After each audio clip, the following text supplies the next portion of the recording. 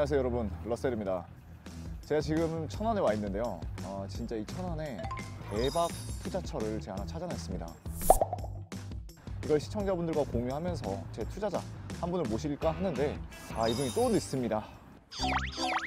아이고! 아 형님! 아이고 잘 지냈어요? 아 형님! 오랜만에 또 뵈가지고 제가 예. 준비했는데. 아, 난 아이스, 아이스. 또 혼자 계시네. 치워주세요 치워주세요 아 웬일이에요? 여기 왜 불렀어요 근데? 예. 제가 진짜 대박인 물건 찾아냈어요. 아니 근데 여기 천안에 제가 고향 목천이에요.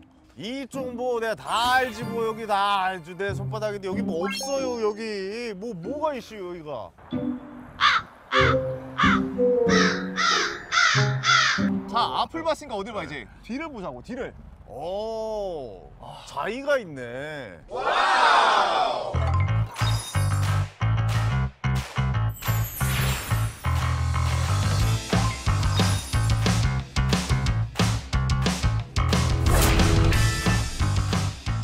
여기가 한 1300세대 정도 되고요. 천, 천, 오 대단지네. 대단지예요. 그리고 지하 2층에서 지상 29층까지. 여기가 중소형 평수로 이루어져 있어요. 아 그래요? 형님도 아시겠지만 요즘 중소형 평수를 공급을 많이 안 하잖아요. 요즘이 사실 경기가 안 좋을 때는 부동산 경기가 안 좋을 때 중소형 평수가 인기가 많아요. 그러니까요. 네. 더 대박인 건 네. 분양가가 네. 상상 이상으로 싸다. 분양가가요?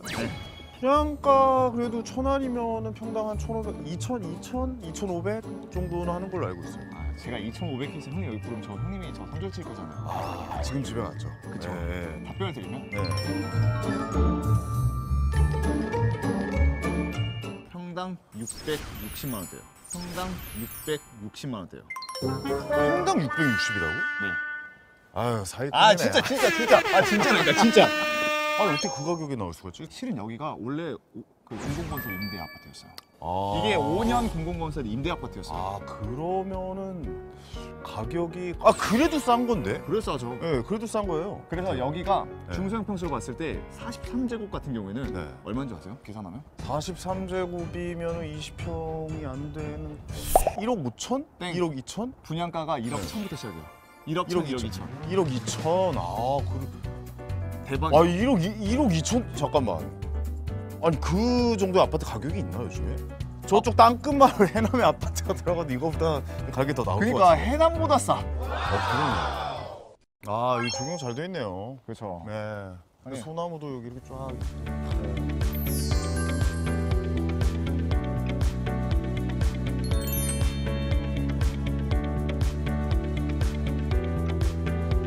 근데 혹시 네. 여행도 자주 다니세요? 여행 좋아져. 제주도는 안 가세요? 제주도 좋아져, 제주도. 그래서 제가 준비했어요 음. 딱 느낌이 어때요 여기? 뭐 네가 준비한 거라고? 자이에 들겠지. 형님을 위해서 자이에서 준비했어요 어떤 느낌이에요? 어떤 느낌이에요? 때? 제주도 같지 아 않나요? 제주도 느낌이네.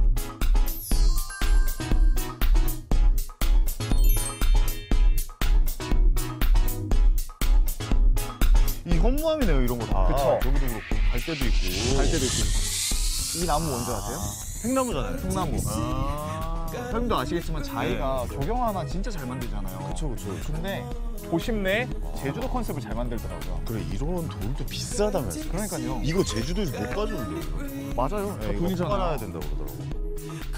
아, 이거 다 돈이야 이거 사실 다. 그러니까요 이거 이 돌 돌. 이거 다 돈이야 이거 다. 아유, 비싼 아 형님 이거 내 건데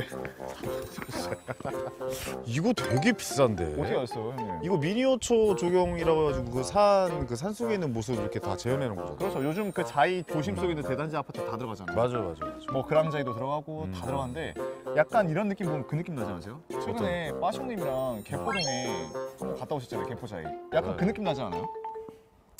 적당해. 아 그리고 이 뒤에도 산이네요 다. 보이시죠? 와 진짜 자연환경 천혜의 환경이다. 네 이게 연결돼 있어가지고 이렇게 예쁘다. 등산로도 연결돼 있어서 입주민들은 이렇게 해서 그냥 산에 아 여기 등산로예요. 네, 그럼요. 예, 오 괜찮다.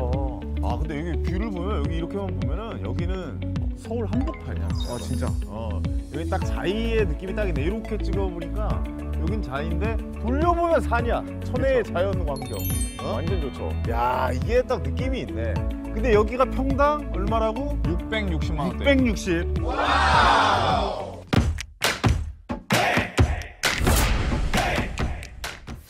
분양 임대라는 것도 좀 이해가 안 가고 그것도 좀 설명해 줘야 될 것 같은데. 네. 아니 형님 보시는 네. 것처럼 이미 지금 다 되어 있잖아요. 다, 다 이미 다 만들어진 뭐 아파트잖아요. 다. 그렇죠. 그러니까 사람들이 이걸 분양을 보고 한다는 게 무슨 얘기인지 모르겠다. 맞아요.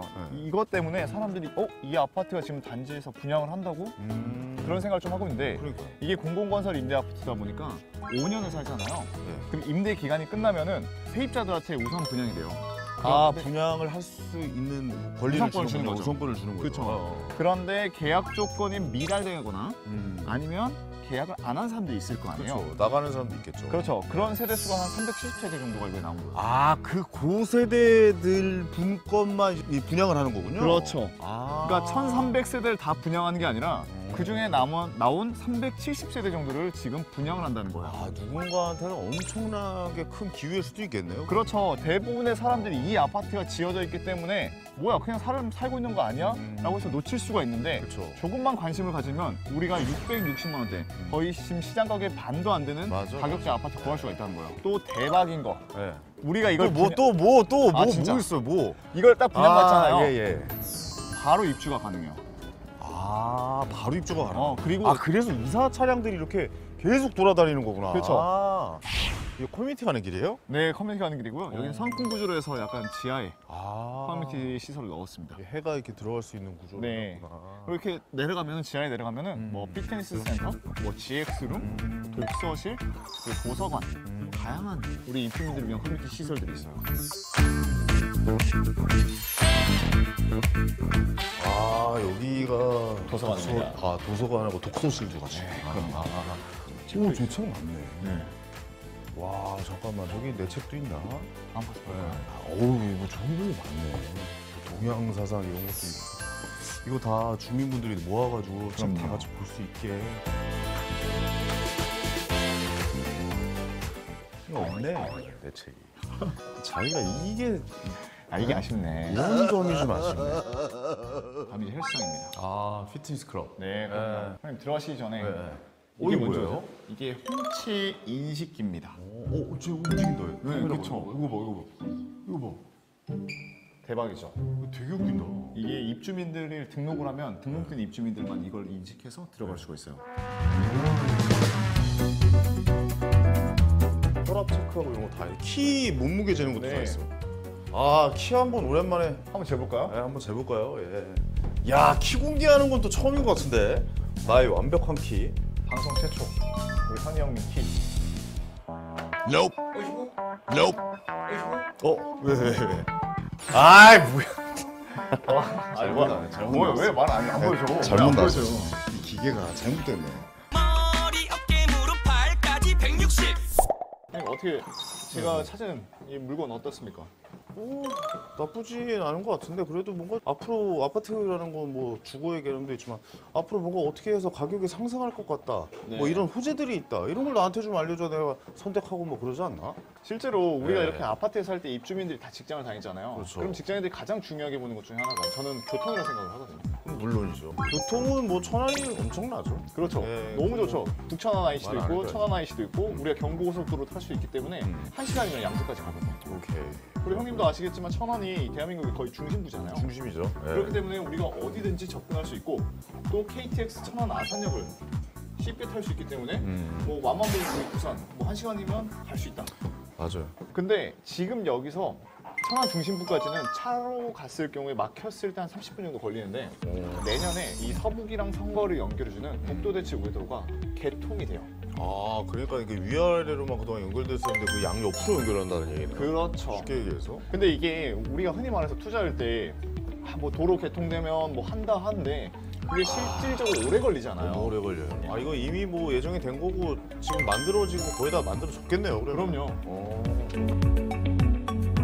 투자한다고 하면 언제 뭐가 될 수도 있습니다. 맞습니다. 그렇죠. 예정이라고 합니다. 그렇게 될지도 몰라요. 근데 이거는 바로 그냥 저기 됐다. 이거 지금 다 만들어졌겠네요. 네, 얼마 안 남았죠.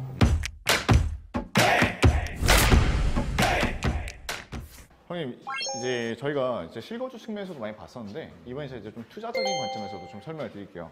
딱 소형 평수인데, 오, 이거 괜찮은데 싶은 물건이에요. 약간 사선 타입이거든요. 정말로 물건이 잘 나왔어요. 보여드릴게요. 19평? 그렇죠, 19평. 형님 들어오세요. 오, 짠. 와, 생각보다 넓네요. 넓죠? 어, 방- 방이 두 개네. 어때요 구조가? 19평이라고? 네 19평. 잘 뽑았다. 그쵸? 19평인데도 꽤 기네요. 그쵸.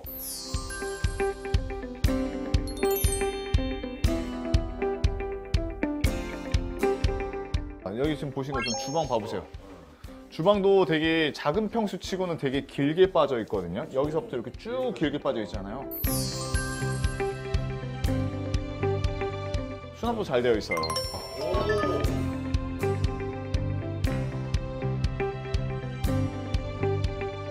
아, 안방도 베란다도 있고. 네, 넓죠. 침실도 되게 넓은 공간이라서 그리고 저는 또 개인적으로 이 베란다가 있다는 게 아주 좋은 것 같아요. 그래서 여기 나, 여기도 남향이다 보니까 햇빛이 딱 들어와서 너무 튀어 있다는 느낌도 있고.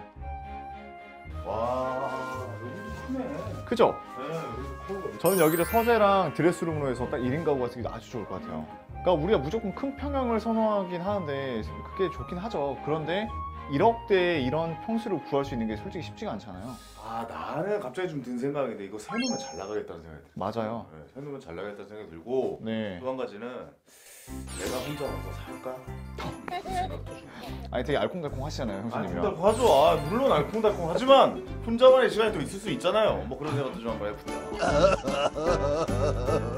잘 봤습니다. 잘 봤고 아 뭐 이렇게 뭐 매수를 하려는 사람으로서 이제 이제부터 좀 하나하나 좀 잡아가 볼게요. 네, 분명 뭔가가 내가 투자로서 이익이 남는 게 있어야 된단 말이에요. 그럼요. 그 그거에 대해서 나한테 좀 마지막으로 좀, 좀 어. 자세하게 얘기를 해야 될 것 같아. 그러니까 근데 여기가 외곽인데 야 사람 없는 거 아니야? 걱정할 수 있어. 어, 내 말이요. 그런데 여기서 조금만 올라가면은 음. 이미 산업단지가 잘 형성이 되어 있어요.